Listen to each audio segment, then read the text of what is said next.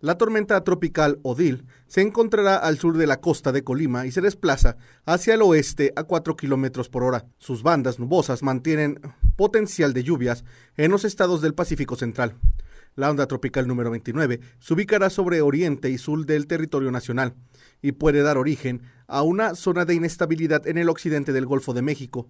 Además, una zona de inestabilidad llegará a Tamaulipas provocando lluvias fuertes en la región.